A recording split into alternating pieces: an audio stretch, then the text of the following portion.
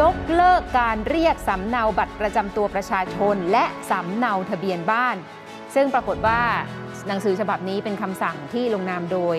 คุณสมยศพุ่มน้อยปฏิบัติราชการแทนอธิบดีกรมการปกครองพี่โอคะอืมมีมติให้ยกเลิกการใช้สำเนาบัตรประชาชน และสำเนาทะเบียนบ้านเพื่อรองรับการเป็นรัฐบาลดิจิทัลค่ะ มาปิดท้ายช่วงนี้นะคะ ไปดูประกาศของกรมการปกครองกันนิดนึงแล้วกันนะคะ คุณผู้ชมคะเรื่อง ยกเลิกการเรียกสำเนาบัตรประจำตัวประชาชน และสำเนาทะเบียนบ้าน ซึ่งปรากฏว่าหนังสือฉบับนี้เป็นคำสั่งที่ลงนามโดย คุณสมยศพุ่มน้อยปฏิบัติราชการแทนอธิบดีกรมการปกครองพี่โอคะอืมส่งตรงไปถึงผู้ว่าราชการจังหวัดทุกจังหวัดเลยเมื่อวันที่ 12 ตุลาคมที่ผ่านมาครับในเนื้อหารายละเอียดเนี่ยคือได้มีการระบุถึงมติคณะกรรมการขับเคลื่อนการปฏิรูป การรองรับการปรับเปลี่ยนนโยบายตามไทยแลนด์ 4.0อืมเมื่อปี 2563 ในเดือนเมษายนครับมีมติให้ยกเลิกการใช้สำเนาบัตรประชาชน และสำเนาทะเบียนบ้านเพื่อรองรับการเป็นรัฐบาลดิจิทัลอืมเดี๋ยวมาดูรายละเอียดแล้วก็ลำดับนะคือสรุปแล้วก็คือว่าเอ่อถ้าหากประชาชนจะไปติดต่อ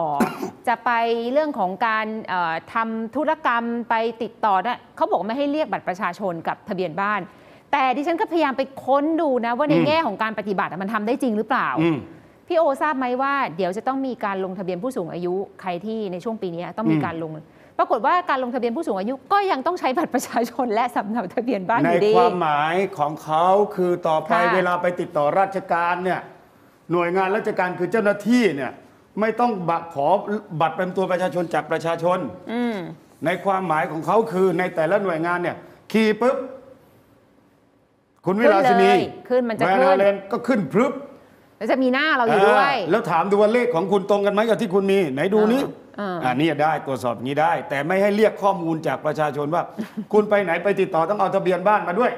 ต้องเอาบัตรประจำตัวประชาชนมาด้วยอ๋อแต่ว่าหลักฐานก็ยังต้องใช้อยู่ หลักฐานบางส่วนเนี่ยในข้อกฎหมายบังคับไว้ว่าต้องมี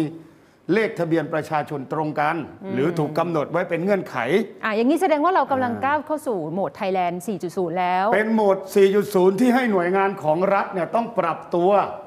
ว่าเวลาให้บริการประชาชนนั้น คุณต้องเชื่อมต่อระบบเข้าไปด้วยกัน ไม่ให้ไปเรียกบัตรประจำตัวประชาชนจากประชาชนที่มาติดต่อราชการ พี่โอรู้ไหมว่าปัจจุบันเนี้ยมีหน่วยงานหนึ่งที่แบบว่าเชื่อมต่อได้แม่นยำและถูกต้องที่สุดคืออะไรรู้ไหม คือ สัมภากรอ๋อ อันนั้นหนีก็ไม่ได้ สัมภากรอืมสัมภากรนี่เชื่อมเป๊ะๆเลย อยู่ไหนเนี่ยรู้หมดเลยครับรู้ทุกอย่าง อันนี้รู้เขาทุกเชื่อมอย่างเดี๋ยวของจริงอ่าของแท้อืมอะหลักการก่อน หลักการก็คือตั้งแต่ปี 2561 เนี่ยนะคะอืมตุลาคมเนี่ยมติครมเห็นชอบ มาตรการการอำนวยความสะดวก และลดภาระของประชาชนก่อนในเบื้องต้นตั้งแต่ปีอืม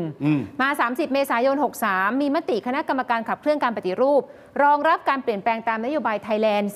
4.0 ครับ นี่ แล้วก็ล่าสุดก็คือ 12 ตุลาคม 64หนังสือคำสั่งของประกาศกรมการปกครองส่งตรงถึงผู้ว่าราชการจังหวัดทุกจังหวัด นี่แหละก็บอกว่าเวลาไปให้บริการประชาชนในแต่ละพื้นที่ไม่ต้องไปขอบัตรประจำตัวประชาชนไม่ต้องไป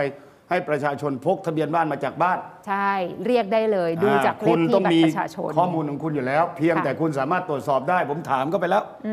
ว่าตกลงไอ้ข้อมูลมันเนี้คือยกเลิกเปล่า ให้หน่วยงานปฏิบัติแบบนี้ครับ ก็แสดงว่าหน่วยงานเนี่ยแต่ต้องไปคุณต้องเชื่อมพกโยบังตรประข้อจำตัวมูลประชาชนมานะ เพราะยังไงเราต้องพกอยู่แล้ว อ่า แต่ว่าให้หน่วยงานราชการต่างๆเนี่ยพยายามที่จะทำให้ตัวเองเนี่ยเป็นไทยแลนด์ 4.0 ให้ได้ ถูก โดยการเชื่อมต่อข้อมูลกับทางกรมการปกครอง ไม่ต้องไปขอทีละขั้นทีละตอนนะคะ อืม อะนี่ก็เป็นภาพรวมแล้วก็ถือว่าประเทศไทยเนี่ยเดินหน้าก้าวไปสู่อีกหนึ่งขั้นแล้วกันนะคะ